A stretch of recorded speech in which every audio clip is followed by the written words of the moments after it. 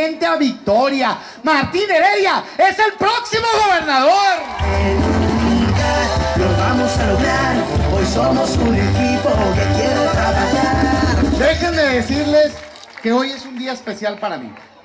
No nada más por venir a darle todo el apoyo del Comité Ejecutivo Nacional al próximo gobernador y nuestro amigo, amigo mío y de Ricardo, Martín Heredia, sino porque vuelvo a una tierra que me abrió las puertas. A mí me tocó vivir aquí en Mazatlán tres años de mi vida, cuando iba iniciando mi carrera profesional. Y me consta que es tierra de gente trabajadora, honesta, buena. Veo y vi con mis ojos y hoy que llego aquí veo el resultado de los buenos gobiernos del PAN. Te felicito, alcalde Felton.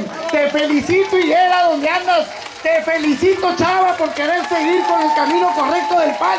Y te felicito, Martín, por hacer de Mazatlán tu prioridad. Vamos juntos para adelante. ¿Cómo de que no? Hagamos que suceda. Martín Heredia. Déjenme decirles algo. Cuando andamos en campañas, escuchamos muchas cosas, muchas propuestas. La diferencia con Martín y con los candidatos del PAN es que son gente buena que tienen palabra. Yo conozco a Martín Heredia, me tocó ser su compañero diputado federal, lo vi pelear como ningún otro diputado para traer la mayor cantidad de recursos que jamás había visto Sinaloa. Es un hombre trabajador, es una persona de familia, es una persona a la que no le regalaron nada, que se puso a trabajar y que salió adelante con él, con su trabajo, con su esfuerzo. Y eso es lo que quiere hacer por Sinaloa. Sinaloa, miren, tiene mucho que dar. Son un estado grande, bello, generosa la naturaleza con ustedes. Tienen todo. Pero necesitan gente al frente del gobierno que sepa dar resultados.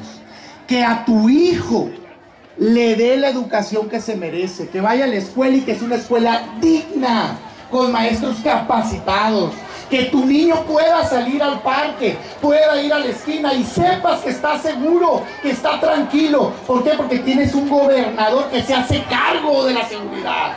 Que sepas que cada peso, cada peso que tenga el gobierno va a ser bien utilizado. Ese es el tipo de Sinaloa que queremos. Y cuando hablamos de eso y cuando escucho a Martín hablar de su bello estado, Mucha gente puede decir, oye Damián, pero esos son solo sueños. Pues déjenme decirles algo en palabras de un escritor bien famoso. Solo aquella persona que tiene capacidad para soñar en esta vida tiene capacidad para crear. Atrevámonos a soñar con un mejor Sinaloa, pero no nos quedemos con el sueño, ¿eh? Pongámonos a trabajar para hacerlo realidad. Martín, te vamos a acompañar paso a paso.